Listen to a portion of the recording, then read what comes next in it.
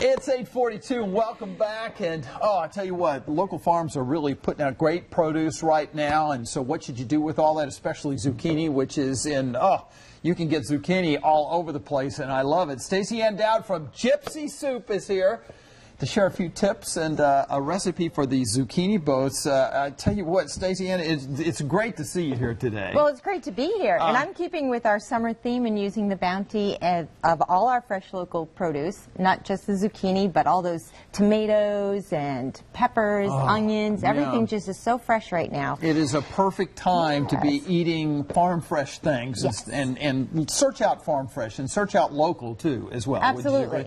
And right. we have um, going to keep in our, our summer theme, and we'll go with zucchini boats.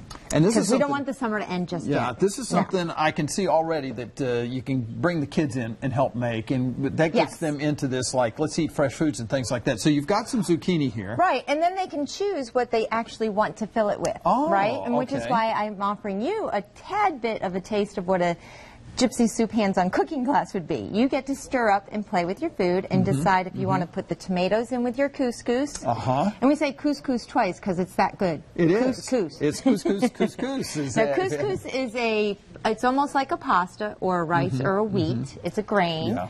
And it's very easy to make. It takes five minutes uh, to get the water to boil. You put it in there, and then set. you let it set. Mm -hmm. Take it right off the burner. Makes great salads, too. Terrific salads. Yes, And right. protein, potassium.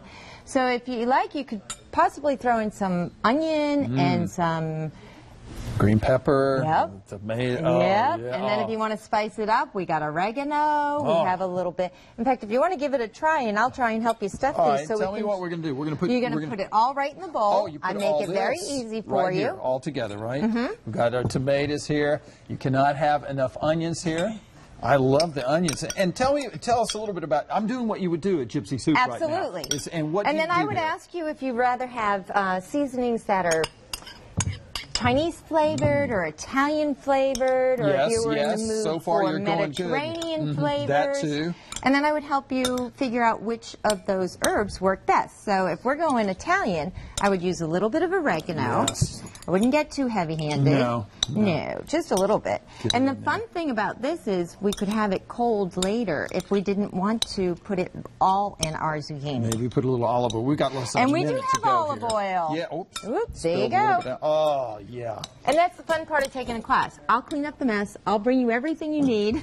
and, and all you have to do is stuff them right in there. All right, just take just it. Put a few of them right in there.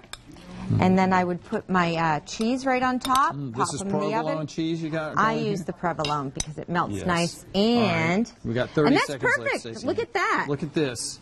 You and put that on there. This is just how they come out of the oven. All right. How do I get in touch with you at Gypsy Soup? Want everybody to know so you can take these cooking classes. Right. You won't, My um, website is www.gypsysoup.wordpress.com.